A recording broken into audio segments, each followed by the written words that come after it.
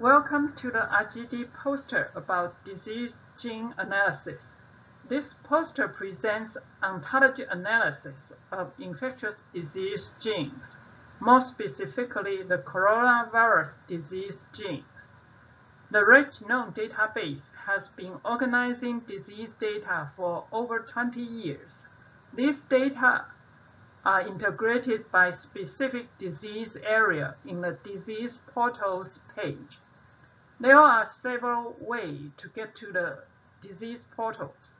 One of them is from the home page. Click on the Diseases tab. It opens up the disease portal.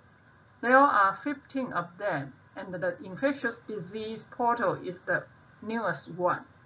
During COVID pandemic, infectious diseases have become a serious health topic globally.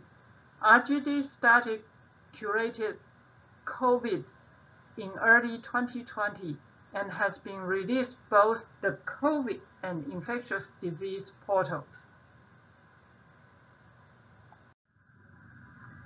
Looking at the ontological branch of COVID-19 on the left, it is caused by RNA virus belongs to members of coronavirus. At the infectious disease portal, a browser move horizontally from left to right will guide you to disease of interest. Then the small orange box with letter A will bring you to the annotation page where genes can be analyzed. Looking for the tool analysis icon. Only selected tools are shown here. In this poster, the enrichment tool MOET and the annotation distribution tool Gene Annotator was used. The top 20 disease terms from enrichment analysis are compared between RGD MOET tool and CTD set analyzer. Both tools show enrichment of respiratory tract infection. Using MOET tool, disease enrichment for MERS and SARS are also shown in the poster.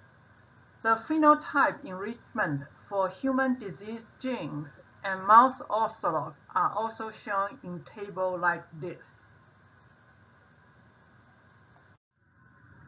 Visualization of COVID gene distribution between disease and phenotype terms is shown as heat maps here. In humans, the COVID genes are concentrated in the phenotypes associated with the nervous system, and the mouse ortholog in the immune systems. This correlates very well with the phenotypes enrichment results and the clinical relevance of neurological symptoms and immunological symptoms found in COVID patients.